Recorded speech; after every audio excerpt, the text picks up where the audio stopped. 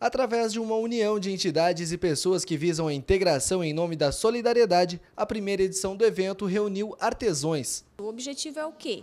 Uh, divulgar o que se faz aqui no bairro, o que é produzido aqui pelos artesãos locais e fomentar a economia do próprio bairro. Ou seja, ah, eu preciso comprar um tapete, ao invés de deslocar até o centro da cidade, compro aqui do artesão local. Então é conhecer né, quem trabalha aqui, quem produz e gerar economia para essas pessoas que moram aqui no bairro. A entidade Abadeus foi o palco da reunião que ofereceu também jogos cooperativos e também instruções sobre economia solidária. A troca solidária ela tem como finalidade a, a organização dos artesãos da comunidade, aqui do bairro Cristo Redentor e também do entorno, né, para que eles entendam que enquanto grupo eles são mais fortes, eles vão conseguir espaço de comercialização. Cerca de 25 profissionais puderam participar da atividade. Uma delas é Dona Ivone. É uma oportunidade única para mim, né? Que eu não era dessa cidade, eu vim para cá e agora estou me entrosando com o pessoal, estou gostando muito e eu acho que vai ser muito legal. Eu nunca participei, mas acho que vai ser muito legal.